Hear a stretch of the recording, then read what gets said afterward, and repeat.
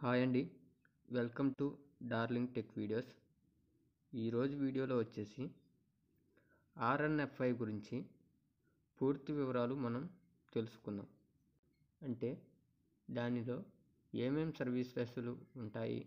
అలాగే దాంట్లో money withdrawal ఎలా చేయాలి? బ్యాలెన్స్ ఎంక్వైరీ ఎలా చేయాలి? అలాగే మినీ స్టేట్మెంట్ ఎలా చేయాలి? రీఛార్జెస్ మొత్తం సర్వీసెస్లు ఎలా చేయాలో ఈరోజు మనం నేర్చుకుందాం. ఈ వీడియో స్టార్ట్ చేసే ముందుగా మీరు గనక నా వీడియోని మొదటిసారి చూస్తున్నట్టయితే దయచేసి నా ఛానల్ని సబ్స్క్రైబ్ చేసుకోండి. అలాగే మరిన్ని వీడియోస్ కోసం బెల్ ఐకాన్ని క్లిక్ చేయండి. ఈ వీడియో కనుక మీకు నచ్చినట్టయితే దయచేసి ఒక లైక్ చేయండి. మీ ఫ్రెండ్స్కి మీ ఫ్యామిలీ మెంబర్స్కి వీడియోని షేర్ చేయండి. ఓకే ఫ్రెండ్స్ వీడియోలోకి వెళ్ళిపోదాం. ఆర్ఎన్ఎఫ్ఐలో ముందుగా ఐడి తీసుకున్న వాళ్ళు ముందుగా ప్లే స్టోర్లోకి వెళ్ళి ఆర్ఎన్ఎఫ్ఐ అని చెప్పి టైప్ చేసి సెర్చ్ చేయండి. చేయగానే మనకి యాప్ అనేది ఇలా వస్తుంది. ఈ యాప్ని మనం ఇన్స్టాల్ చేసుకోవాలి. నేను ఆల్రెడీ ఇన్స్టాల్ చేశాను కాబట్టి ఓపెన్ అడుగుతుంది. ఓపెన్ చేయండి. ఓపెన్ చేసిన తర్వాత ఇక్కడ మీ యూజర్ నేమ్ పాస్వర్డ్ ఇచ్చి లాగిన్ అవ్వండి. నేను యూజర్ నేమ్ పాస్వర్డ్ ఇచ్చి లాగిన్ అయ్యానండి. లాగిన్ అయితే ఇంటర్ఫేస్ అనేది ఇలా ఉంటుంది. దీంట్లో మనకు స్టార్టింగ్ వచ్చేసి చూడొచ్చు మీరే. ఇక్కడ డిటిహెచ్ పక్కన రీఛార్జ్ పక్కన సెటిల్మెంట్ ఇక్కడ బిల్ పేమెంట్స్ ఈ దీంట్లో వచ్చేసి ఓన్లీ రీఛార్జెస్లు చేసుకోవచ్చండి. కింద వచ్చేసి డిఎంటి ట్రాన్సాక్షన్స్ అని చూసారా? ఇక్కడ వచ్చేసి మనీ ఎవరికైనా ట్రాన్స్ఫర్ చేయాలంటే ఈ డిఎంటి ద్వారా డిఎంటి అంటే డొమెస్టిక్ మనీ ట్రాన్స్ఫర్ అనేది దీంట్లో చేస్తారు. కింద వచ్చేసి మెయిన్ వచ్చేసి ఇదేనండి. మనకి AEPS service Aadhaar enable payment system ఇది వచ్చేసి దీంట్లో అండి. బ్యాలెన్స్ ఎంక్వైరీ పక్కన విత్డ్రాల్ తర్వాత mini statement e ledger e settlement settlement transactions ఇవన్నీ సర్వీసులు ఎలా ఉంటాయో ఈ వీడియోలో మొత్తం నేర్చుకున్నాం అలాగే ఐసిఐసిఐ బ్యాంక్ డిపాజిట్ ఇక్కడ మళ్ళీ పేటిఎం వ్యాలెట్ మొబిక్విక్ వ్యాలెట్ ఇవన్నీ ఈ సర్వీసెస్ మొత్తం ఏ సర్వీస్ ఎలా యూజ్ చేసుకోవాలో మొత్తం ఈ వీడియోలో మనం నేర్చుకున్నాం దయచేసి ఈ వీడియోని పూర్తిగా చివరిదాకా చూడండి. మీకు ఎవరికైనా ఈ ఐడి కావాలంటే కింద డిస్క్రిప్షన్లో నా నెంబర్ ఇస్తాను. అలాగే వాట్సాప్ నెంబర్ కూడా అదే. దానికి మీరు మెసేజ్ కానీ ఫోన్ కానీ చేసి ఐడి కావాలంటే తీసుకోవచ్చండి. చాలా అంటే చాలా తక్కువ ప్రైస్కి ఇస్తున్నారు కంపెనీ వాళ్ళు ఇప్పుడు. ఓకే. మనం వచ్చేసి ఈ యాప్లో మనం తెలుసుకోవాల్సింది ఏంటంటే మెయిన్ మెయిన్ మొత్తం నేను చెబుతాను ఇప్పుడు. ఓకే అండి. మొదటగా బ్యాలెన్స్ ఎంక్వైరీ ఎలా చేయాలో తెలుసుకుందాం. ఇక్కడ బ్యాలెన్స్ అని చూసారా? దాన్ని క్లిక్ చేయండి. క్లిక్ చేసిన తర్వాత మనకి ఇలా ఓపెన్ అవుతుంది. స్టార్టింగ్ వచ్చేసి ఆధార్ నెంబర్. ఆధార్ నెంబర్ అనేది టైప్ చేయండి. నేను వచ్చేసి నా ఆధార్ నెంబర్ అనేది టైప్ చేస్తున్నాను. ఆధార్ నెంబర్ టైప్ చేసిన తర్వాత కస్టమర్ మొబైల్ నెంబర్. కస్టమర్దైనా ఇవ్వచ్చు ఎవరిదైనా ఇవ్వచ్చు అండి మొబైల్ నెంబర్ అనేది ఇవ్వండి. ఇచ్చిన తర్వాత కింద సెలెక్ట్ బ్యాంక్. సెలెక్ట్ బ్యాంక్ అన్న కాడ మనం ఏ బ్యాంక్ నుంచి అయితే మనీ విత్డ్రాల్ చేయాలనుకుంటున్నామో ఆ బ్యాంక్ని అనేది సెలెక్ట్ చేసుకోండి. నేను వచ్చేసి నాది బ్యాంక్ ఆఫ్ బరోడా. ఇదిగోనండి. ఇక్కడ డిస్క్రిప్షన్ సారీ. ఇక్కడ వచ్చేసి మనం ఏ మ్యాటర్ అయినా టైప్ చేసుకోవచ్చు ఇబ్బంది లేదు. ఇక్కడ ఈ బాక్స్ అనేది టిక్ చేసుకొని ఇక్కడ సబ్మిట్ అనేది కొట్టాలి.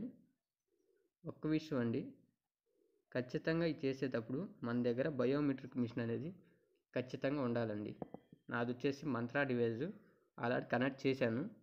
చేసేసి ఇక్కడ సబ్మిట్ అని కొట్టగానే మనకి తంబు మిషన్లో లైట్ అనేది వెలుగుతుంది. ఓకే నేను సబ్మిట్ కొట్టానండి. బయోమెట్రిక్ వెలిగింది తంబు తీసుకుంది. సారీ అండి. నా బ్యాంక్ ఆల్రెడీ లిమిట్ అయిపోయినట్టుంది. వేరే బ్యాంక్ సెలెక్ట్ చేసుకొని చూస్తాను.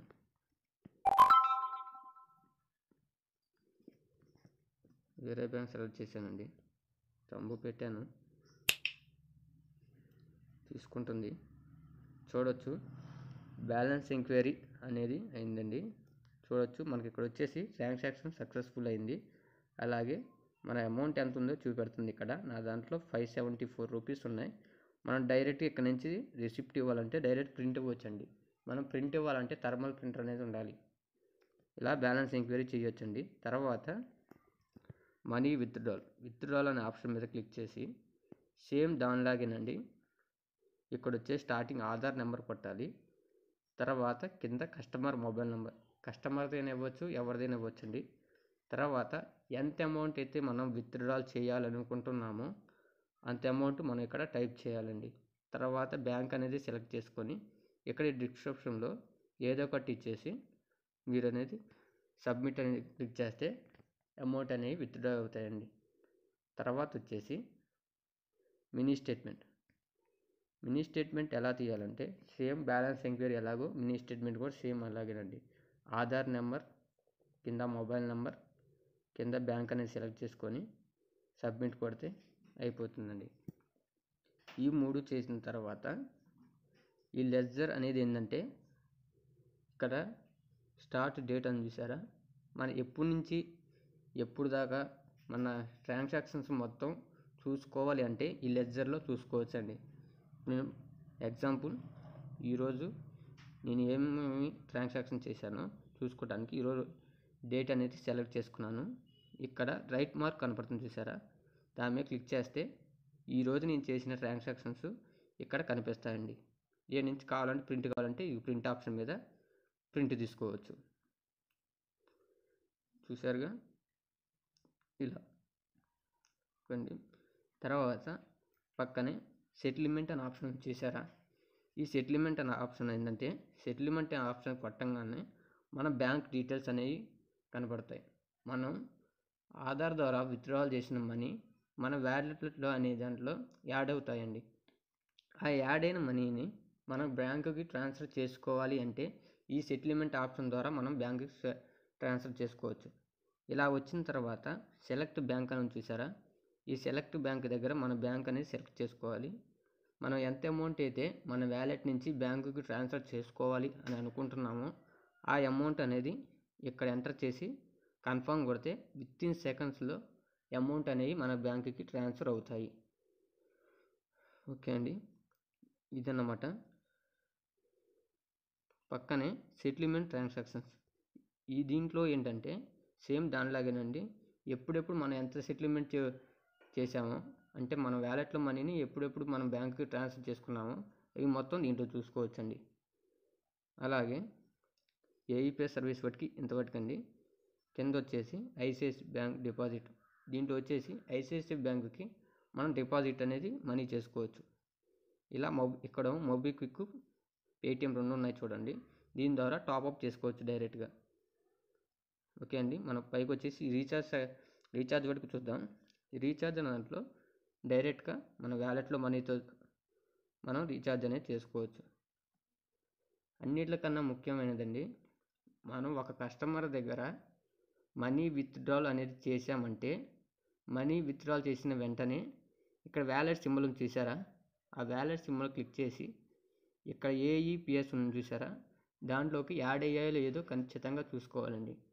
మన కస్టమర్ దగ్గర మనీ విత్డ్రాల్ చేసినప్పుడు ఈ ఏఈపిఎస్ వ్యాలెట్లోకి మనీ యాడ్ అయితేనే మనం కస్టమర్కి మనీ అనేది ఇవ్వాలండి. ఇది ఒకటి మాత్రం ఖచ్చితంగా గుర్తుపెట్టుకోండి. మెయిన్ వ్యాలెట్ ఏంటంటే మెయిన్ వ్యాలెట్లో మనీ ద్వారా మన రీఛార్జెస్ ఈ సర్వీసులన్నీ చేయొచ్చండి. మన ఏఈపిఎస్ వ్యాలెట్లో ఉన్న మనీని మెయిన్ వ్యాలెట్కి ట్రాన్స్ఫర్ చేసుకోవాలి అంటే ఇక్కడ వ్యాలెట్ ట్రాన్స్ఫర్ అని చూసారా? దాని మీద క్లిక్ చేసి అమౌంట్ అనేది ఎంటర్ చేసి ట్రాన్స్ఫర్ అని కొడితే మన పేస్లో ఉన్న వ్యా మనీ మన మెయిన్ వ్యాలెట్లోకి ట్రాన్స్ఫర్ అవుతాయి. ఇవ్వండి. మీకు ఇంకా ఏమైనా డౌట్స్ అనేవి ఉంటే కింద కామెంట్ సెక్షన్లో నాకు కామెంట్ పెట్టండి. నేను రిప్లై అనేది ఖచ్చితంగా ఇస్తానండి. ఒక్క మాట అండి. మీకు కనుక ఐడి అనేది కావాలంటే కింద డిస్క్రిప్షన్లో నా నెంబర్ ఇస్తాను. దాన్ని కాల్ చేసి లేకపోతే మెసేజ్ చేసినా ఐడి కావాలని తీసుకోవచ్చండి. మీకు డిస్ట్రిబ్యూటర్ కావాలంటే డిస్ట్రిబ్యూటర్ రీటైలర్ కావాలంటే రీటైలరు సూపర్ డిస్ట్రిబ్యూటర్ కావాలంటే సూపర్ డిస్ట్రిబ్యూటర్. మీకు ఏది కావాలన్నా నెంబర్ ఇస్తాను కాల్ చేసి లేకపోతే మెసేజ్ చేసి ఇన్ఫర్మేషన్ తీసుకోవచ్చండి. ఒక రిక్వెస్ట్ అండి ఈ వీడియో కనుక మీకు నచ్చినట్టయితే ప్లీజ్ ఒక లైక్ చేయండి అలాగే మరిన్ని వీడియోస్ కోసం నా ఛానల్ని సబ్స్క్రైబ్ చేసుకోండి. థ్యాంక్ యూ అండి థ్యాంక్ యూ వెరీ మచ్.